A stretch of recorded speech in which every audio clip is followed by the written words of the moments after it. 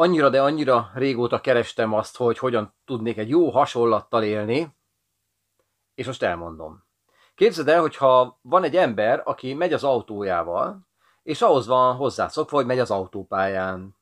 Tempomat és mindenféle ilyesmi, és ugye szépen megy az úton, tartja 130 km per órát, közben zenét hallgat, beszélget a párjával, és gyönyörű szép idő van. Ám egyszer csak odaér, tehát véget ér az autópálya, és odaér egy olyan útszakaszhoz, ami hegyeken keresztül vezet, és elkezd a kétsávos út egyre jobban beszűkülni. És a, a fickó egyre jobban elkezd dühöngeni, hogy hogy a fenébe, hogy őt megakadályozzák abba, hogy azzal a 130 km per órás tempóval menjen tovább. És hihetetlen dühös lesz, kiabál a párjával, és csapkodja a műszerfalat, és teljesen készen van. És kihozza az autóból a legtöbbet, amit csak lehet, és hirtelen eljut egy kavicsos útszakaszhoz.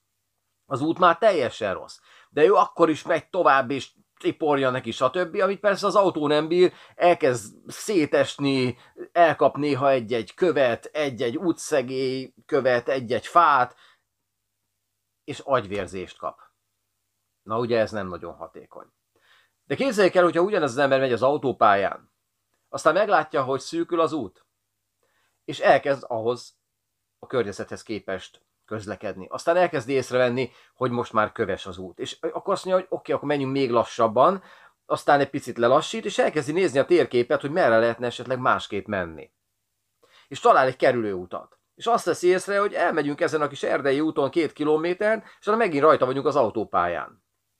Na nézd meg, hogy melyik az észszerűbb közlekedési mód, melyik az észszerűbb probléma megoldási mód. Na most annyira örülök talán jobb, jobban, mint te, hogy találtam ezt a, ezt a hasonlatot, mert nagyon sokan most így élik az életüket, hogy követelik vissza az autópályát. Érted?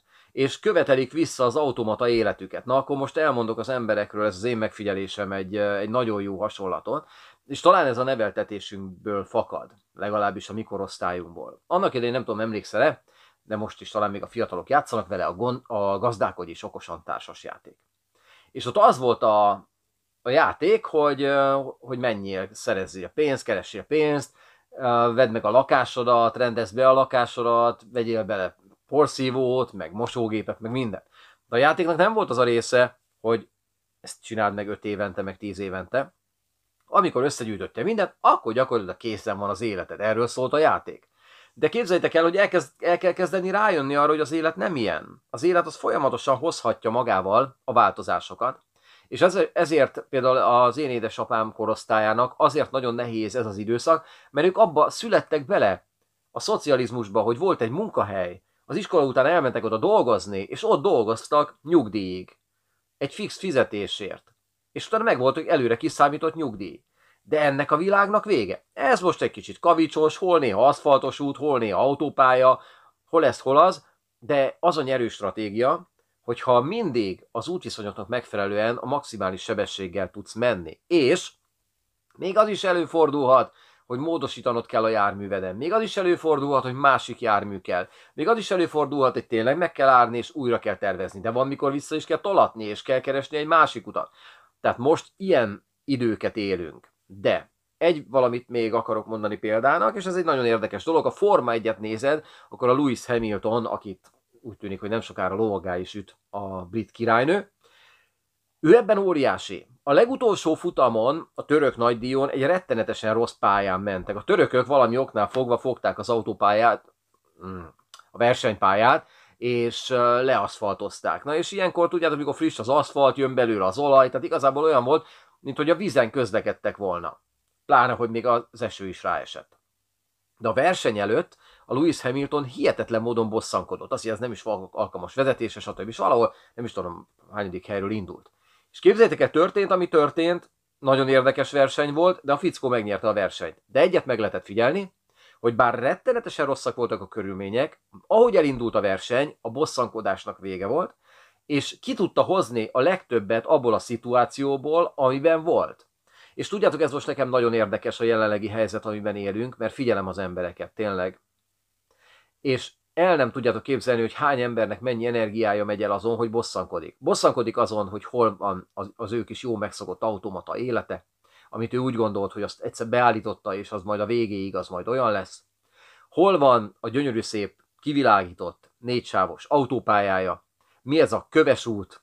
Követelem vissza az autópályámat, érted? És rengeteg energiája egy csomó embernek elmegy azzal, hogy próbál valami olyanon változtatni, ami nem lehet változtatni. Ahelyett, hogy úgy, mint Louis Hamilton, az adott szituációból hozná ki a legtöbbet. Na, szóval én ezt egy picit ilyen gondolatébresztőnek szántam most a hétvégére.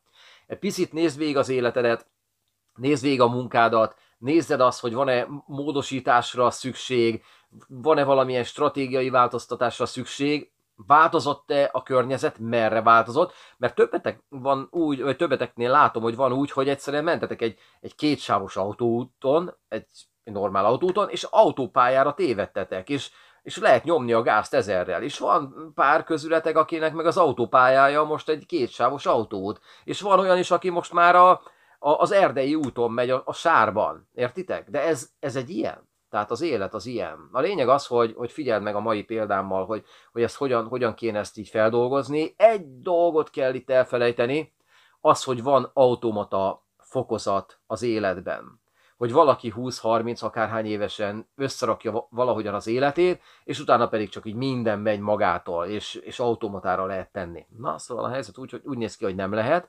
Ez most egy ilyen rázós dolog, bárhogyan is alakulhat az út. Egy a lényeg, hogy a mai napon kell nézned, hogy ma milyen, és milyen lesz holnap de azon nem érdemes azzal foglalkozni, hogy milyen volt tegnap, meg tegnap előtt. Mert mindenki, aki ezen gondolkodik, hogy milyen volt tegnap, meg tegnap előtt az út, azoknak mind rengeteg, föles, rengeteg energiája megy el feleslegesen, olyan energia, amiből a jelenlegi helyzetből kell kihozni, hogy a jelenlegi helyzethez kell, hogy a legtöbbet tudja az ember kihozni belőle.